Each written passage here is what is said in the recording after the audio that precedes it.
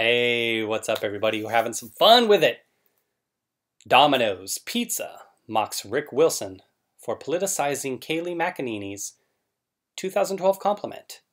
Guess that's 2020 for you. This is Fox. You know how it is. You know it's a conservative site. I figure most of you are familiar with the story, especially the conservatives, more liberal types. Probably wanted to avoid this one. Rick Wilson, apparently he's some piece of garbage never Trumper that says whatever he needs to say in order to make a buck. Sounds like John Bolton. So this happened a few days ago. We'll just kind of read it real quick. I just wanted to give my thoughts. I know it's been an interesting week, so I didn't have a chance to get to it, but I had to talk about it. And Kayleigh McEnany, whew, whew, if you could see the pits on this shirt, you could see you'd see they'd be dripping be like I just came out of the swimming pool. Ooh, she's bad. Woo!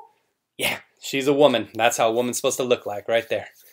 Now, interestingly enough, she's married to a baseball player. Guy used to play for the Mets, Orioles.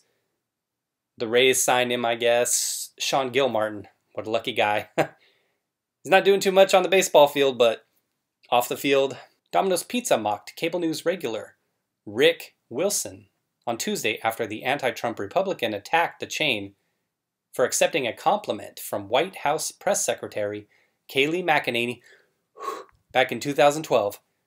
It all started on Monday night when someone resurfaced a 2012 exchange between McEnany and Domino's Pizza.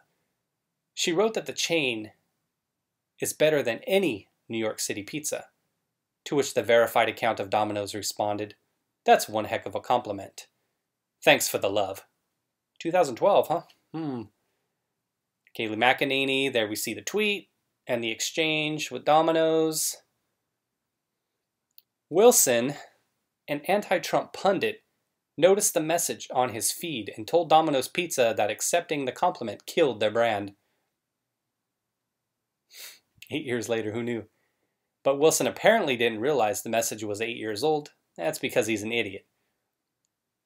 And sent long before McEnany worked in politics and three years before Donald Trump even announced his candidacy for president. Trump derangement syndrome, that's what they call it, everybody. Beware. I just wanted to say this, though, for you conservatives. The next time a Democrat gets in office, and I'll harp on this a lot, maybe it's November, maybe it's 2024. The next time a Democrat gets in office, conservatives, please don't be like this guy, Rick the Dick Wilson don't get this TDS for whoever the president is. Just please. All of this stuff we've seen the last three years from these doofuses on the left, don't let this happen to you. I mean, you see these people in the comments, they're so pathetic, they are so brainwashed. Don't let that happen to you. No matter what is happening, learn from the lessons you've seen the last three, three and a half years. Do not be like them. Please don't. Somebody like me just hanging out in the middle, I I, I can barely tolerate one half being stupid. I don't I don't want both halves. Please. Begging you. Wilson was widely mocked for the gaffe, including by the pizza chain itself. Welp. It's unfortunate that thanking a customer for a compliment back in 2012 would be viewed as political. Guess that's 2020 for you, Domino's responded. There you see the tweet. Looks like McEnany weighed in again, Shouted out Domino's again. Oh, shouted out Pizza Hut.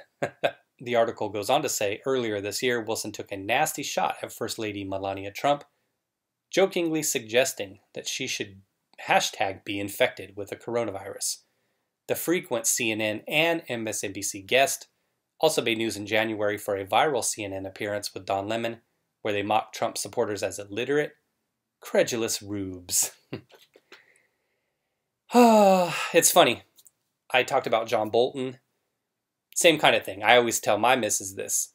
I say, for any individual right now, in the Trump administration, whether you're a friend of his or not, within the administration, that if some point you get fired, write a book, try to dish all this BS dirt, Omarosa, remember that? Did Stormy Daniels write a book? It's easy money. It's like comedians who tell Trump jokes low hanging fruit. It's so easy to be anti Trump and get paid to do it because they want it so bad. They want to hate him so bad. I love it. So, that being said, this guy, Dick Wilson, I mean, I can't say I'm going to blame him for cashing in off these idiots at CNN and MSNBC. As I've said before, they sacrifice their ethos for a lot less money than I'm sure he's getting. So, Bolton, you can go down the list.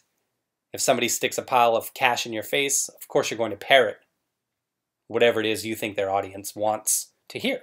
All right, that's the article, everybody. Domino's is all right. I'm not really a fan of Pizza Hut. I am more of a fan of the, you know, the ones where you go in now, you line up, they make the stuff right in front of you, throw like 50 million toppings on it, and they're like $10, $11 for a pizza. I'm more of a fan of those places. So occasionally I'll get Domino's, but there's also this place here. If you're local in SoCal in Orange County, it's in Irvine. It's called North Italia. I'd recommend it. It's pretty steep. It's a lot better than Domino's, but it's four or five times the cost for the size. So occasionally I like to pretend like I'm bougie and rich, like Rick Wilson, and splurge on a nice pizza from North Italia. But when I do uh, get down in the lower range of the cost of pizza, I prefer Domino's over Pizza Hut. Haven't had Pizza Hut in a while. Domino's, not too bad. Kayleigh, a lot better. Thanks for watching, everybody. Take care, and I hope everybody's doing well out there. All the best.